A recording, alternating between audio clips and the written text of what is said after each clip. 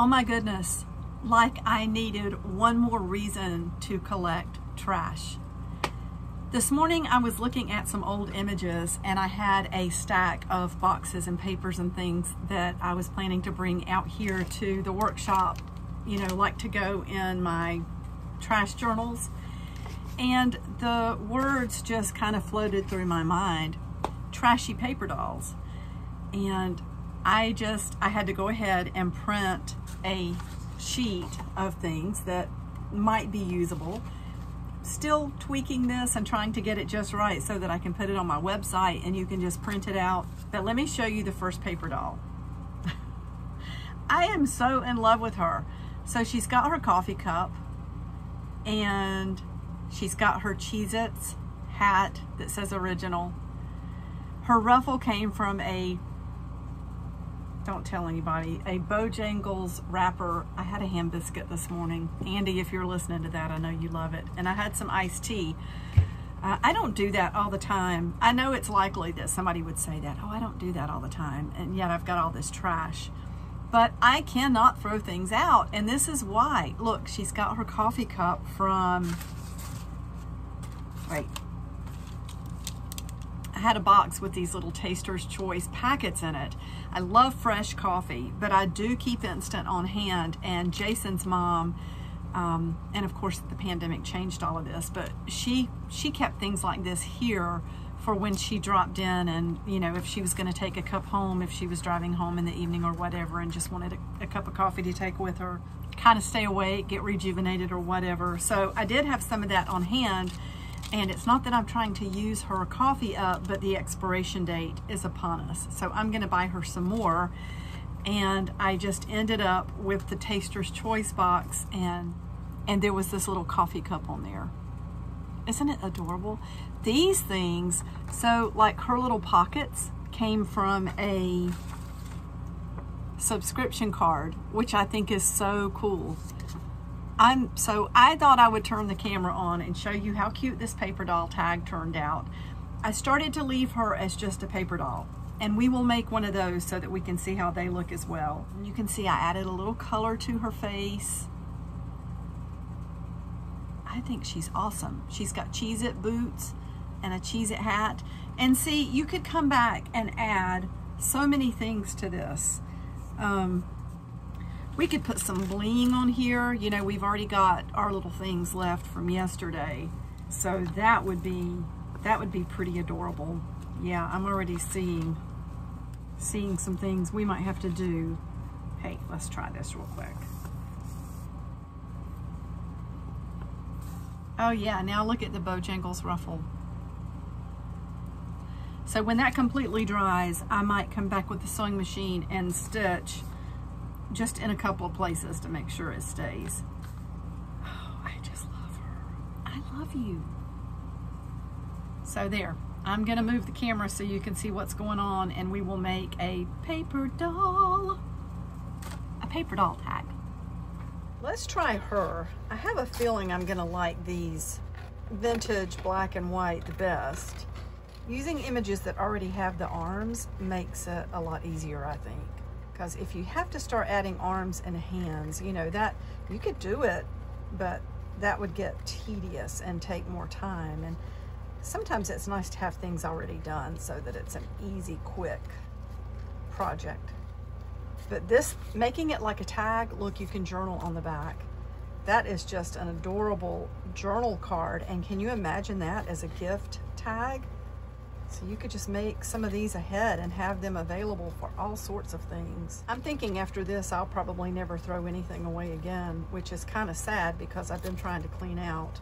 So you can see I her arm was cut off in the ad itself. So we'll figure out a way around that. Um, I'm gonna go ahead and cut right here so that we have that pretty curve. That would be great on top of a skirt. And I'm gonna get a little bit closer Oh my goodness. These are gonna be so much fun. Let me go through some of this trash and try to pick out some sort of outfit for her. Got some vanilla. So I used so many little pieces. This makes me not want to throw away anything. I feel like I have more trash in here somewhere. Oh, I knew I did. So let's see. That is a pretty label. So that could be like an apron. Let's go ahead and put her right here at the top. And let's let's get this shape around the like around the corset. And we will this is not going to be as long as the dress. I feel sort of frantic, like like I need to make a hundred of these. You know how when you find something new that you want to try, sort of like the paper ruffles. And I had seen that so many times, it just was not calling to me. You know, sometimes things don't call to you the first time you see them. Now let's just cut right across here and see. Okay, that's still a little bit right there and right there. Oh yeah, that's so pretty. You know, these corsets are awesome because if they're truly going to be trashy paper dolls, being out with just a corset on, that, that would have been like criminal. And now you can go shopping for clothing and buy clothing that's meant to look like things like that. Crazy. All right, so we've got part of an apron. What do we want for a skirt? Or do I want it this way? Oh yeah, maybe that's better.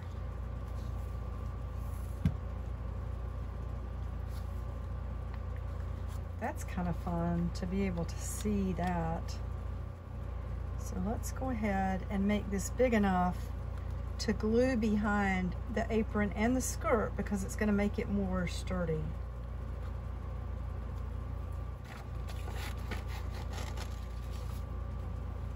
Oh yeah, that's so cool.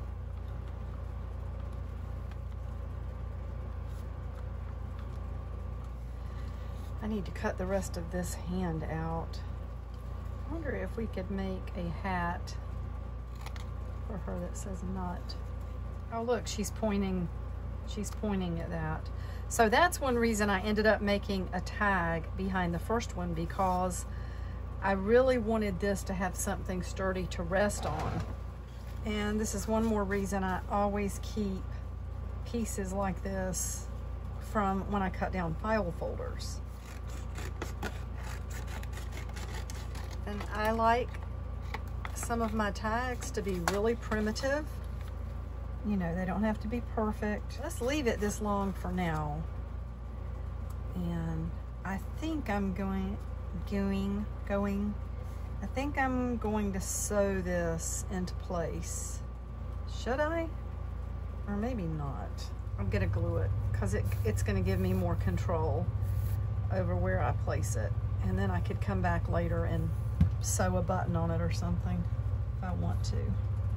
And let's put, hello, let's put a little bit of glue in the back of her hand so it'll stay right there. And we'll leave that up for a minute because we might want to drape something across that arm. Who knows? And glue her down right here. Not too far down because she needs boots. And I'm sure we have something here that we could use to cut out some boots.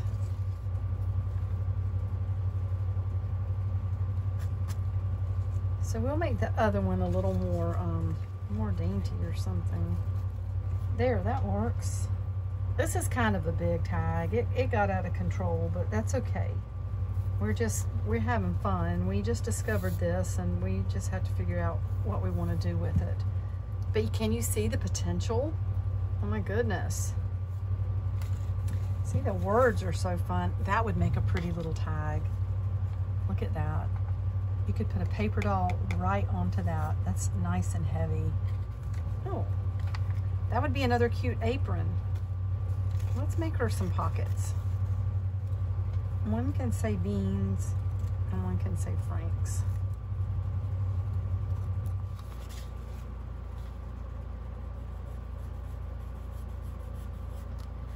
There, almost make it like the edge of her arm, like a shadow or something, so that we don't see that line and wonder what that's supposed to be. I like that better. We could write something on her too. So it says fashionable. And then she's pointing to the word nut. I think we'll go ahead and glue this hand down.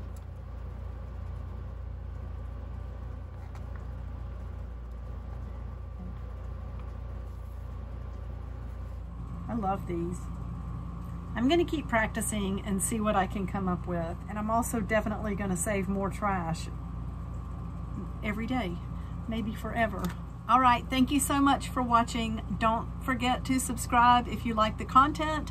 I upload regularly and I love that you're here. Thank you so much. If you liked it, give it a thumbs up. Bye for now.